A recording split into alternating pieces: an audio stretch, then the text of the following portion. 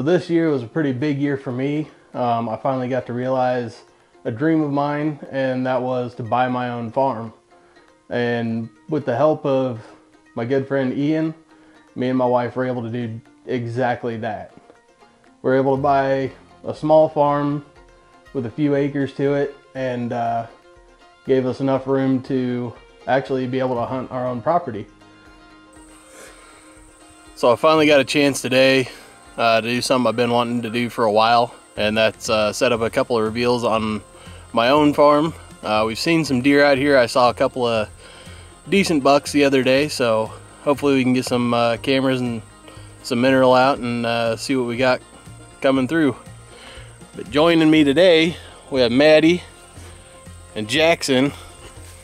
So they're gonna learn about setting up trail cameras and uh, kind of that pre-hunt preparation, getting ready for season. Maddie thinks she's gonna get her first deer out here too. I am, guys.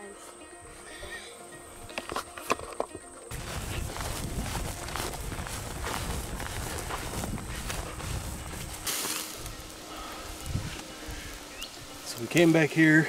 I chose this corner because from an aerial view when Ian flew the drone uh, early this spring, there were just an immense amount of deer trails coming through here.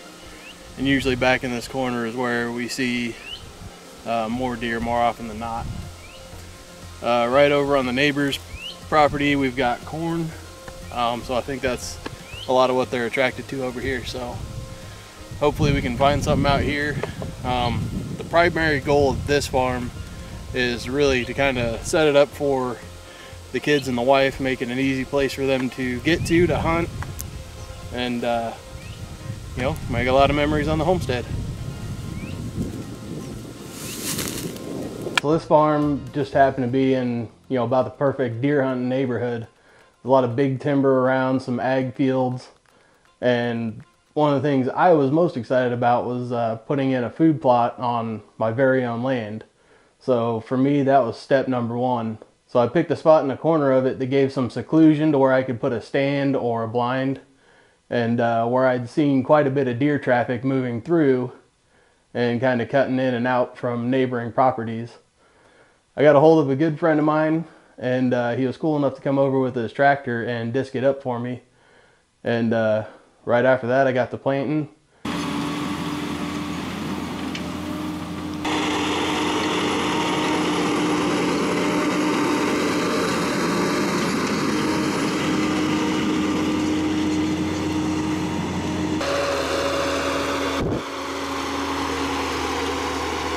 So through the summer, just watching what deer came in, both standing on my deck and uh, watching my reveals, it was awesome to kind of get an idea and I got a game plan together on where exactly I needed to be and uh, set up the blind to hunt.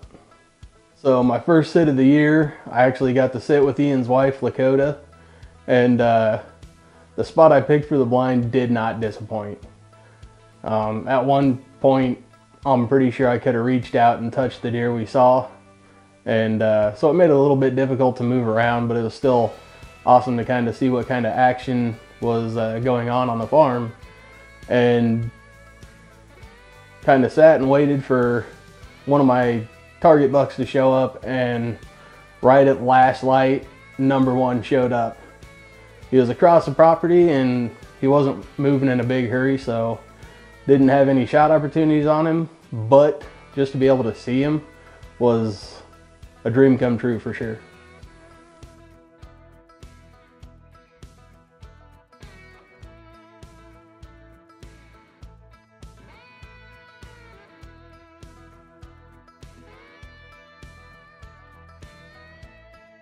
So after all that, we rolled into early muzzleloader season, which is Danica's particular favorite. Um, because it's still a little warmer in the year. So I got her a tag and I decided, you know what the heck. Uh, I grabbed a tag too and we went out and had our first sit on our property together. So it's opening day at Iowa's early muzzleloader season, which is Danica's particular season. She likes hunting a little warmer weather, so We're out here on the farm again, and uh, she's had her eye on a couple of deer out here, so we'll see if we can't get it done. It's a pretty windy day out, so hopefully we'll see something come through. But the wind's right, weather's right, somebody's excited. That's always a good thing. So fingers crossed we'll be able to get the job done here tonight or maybe tomorrow. We'll see what happens. There's been a couple of bucks that she's seen out here, and uh, if one of our big boys comes through, she's gonna lay the hammer down.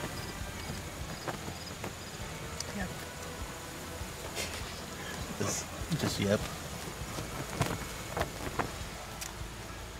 I'm sure that'll change once we shoot something.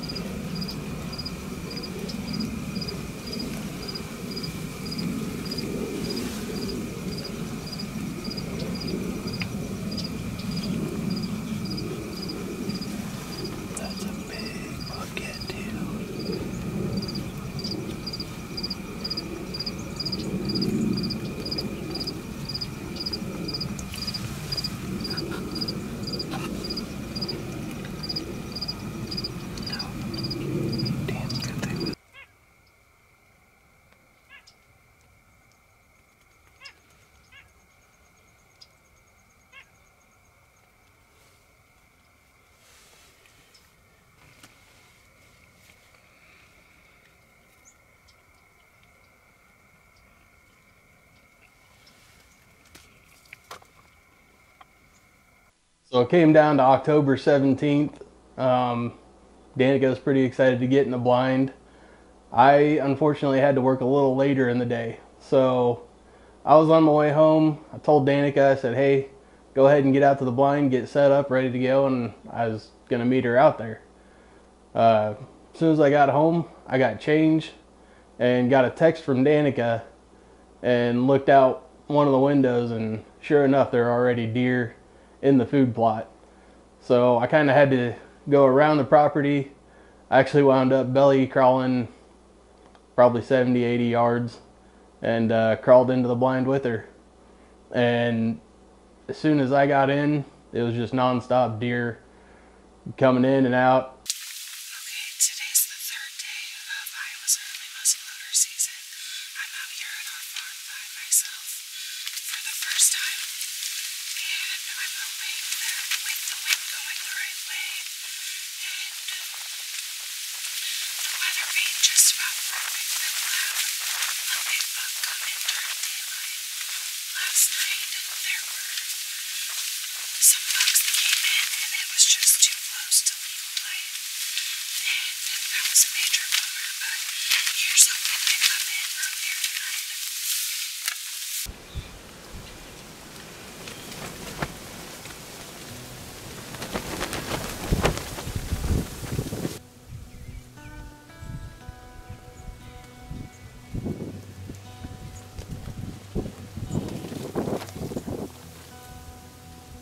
So this buck steps out and he got Danica all fired up.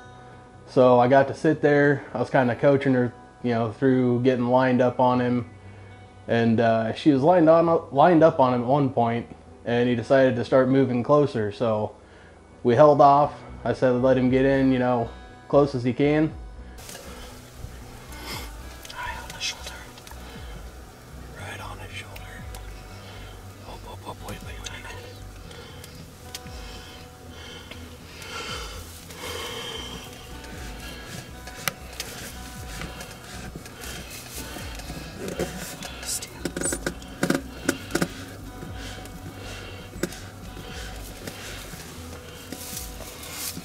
He's coming down to water,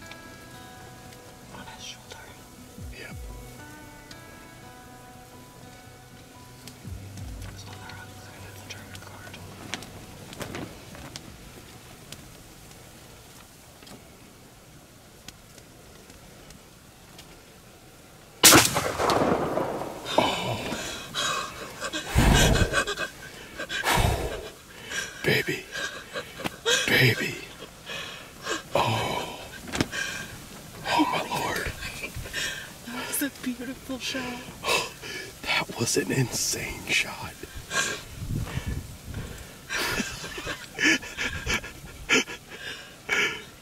oh, my lord. It wasn't my deer, but it was that deer. He didn't even move. He just dropped. Yeah. So, day three coming out. Danica beat me to the blind today.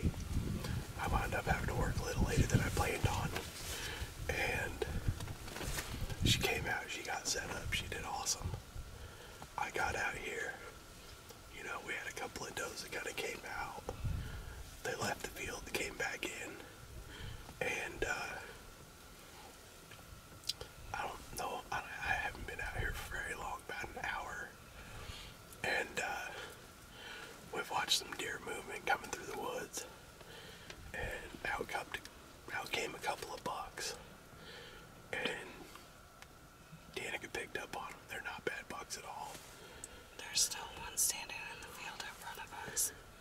We got one just right out the way. He doesn't know what happened, and I mean, when you talk about the perfect shot, this deer didn't move.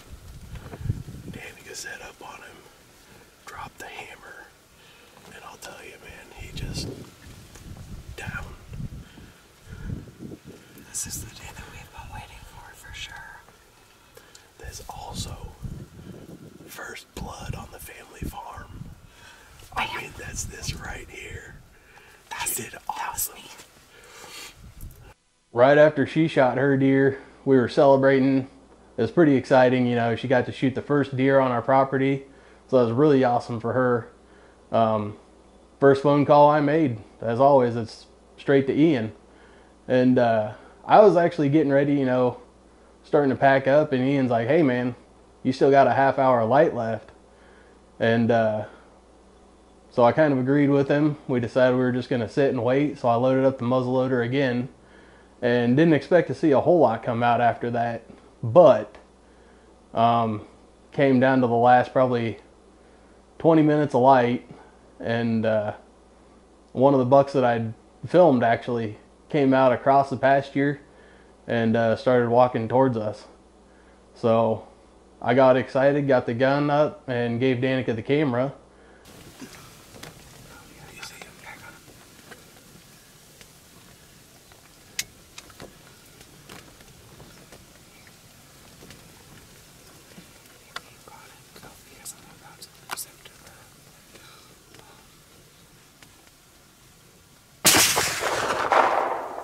Go down, go down, go down, go down. Go down, go down, go down. Come on, buddy. Go down, Oh, go God, down, he's go going down. to. He's yes. going down. Yes. He's going down. Yeah. He's going down. Go down, go down, go down. He won't miss him. Yes, he just fell. you got him.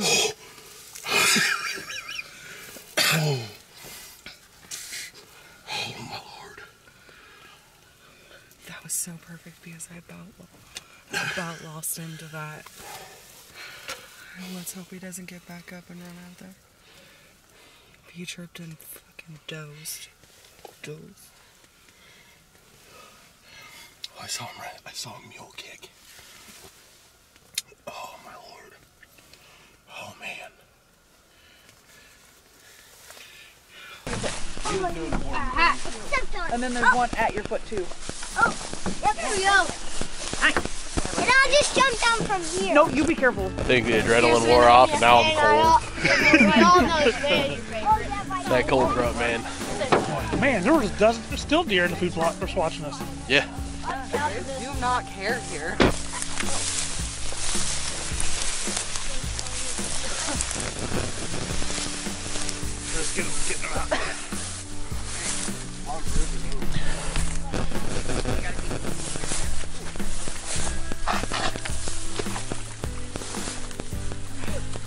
Man, Here, Danica, why don't you give me your gun? Danica, why is he doing all the work? Oh, I got a husband. Because I love her. Yeah. He, he must have, like, when he went down, he must have just flopped in there. Stay over here. I swear he was up here where it was clean and dry. Well, Yeah. all right. I shot him up here. He ran towards us and then cut down You There should. should be there should be blood. somewhere right in here. There looks like there's a trail or something right here, Jake, coming down. That might be. Right here. Yeah. Yep, I'm blind. I missed that one. It's all right there. Yep. Right here. Oh, hey. What's up, buddy? Oh, buddy. Nice, dude. Holy smokes, Jake. That deer is a slammer. Slammer. What the heck, dude? That's a giant. I want to know how a hunting night can get any better than that. I get to go out. Met Danica. She is already in the blind setup. And me being there an hour smokes a deer. I mean, just a phenomenal drop on a deer. I mean, picture perfect. And not 10 minutes later, out comes deer I've been watching. And uh, I get to put the hammer down on him. I mean, you, you just couldn't ride it any better than that. I've never doubled up with anybody, so to be able to do that with Danica on our in our pasture, you know, on our farm, that's beyond awesome. There's there's no words to really explain it. That's insane. just got me excited to see what memories, what other memories are going to be made on that property. I mean, between maybe a bigger food plot or a bigger pond, being able to take the kids out and experience deer hunting with them, um, even a little trapping probably with my son Jackson. He's pretty excited to start trying that. Um, it's a pretty awesome feeling to have a piece of property that I'm going to be able to make memories on for the rest of my life and then, you know, most of the kids' life.